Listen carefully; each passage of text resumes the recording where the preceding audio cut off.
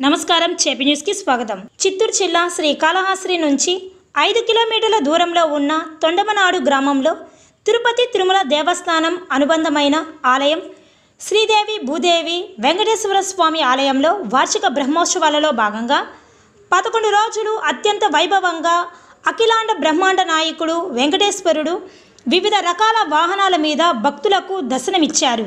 ఉత్సవాలలో చివరి రోజున పుష్పయాగం కన్నుల పండుగగా నిర్వహించారు.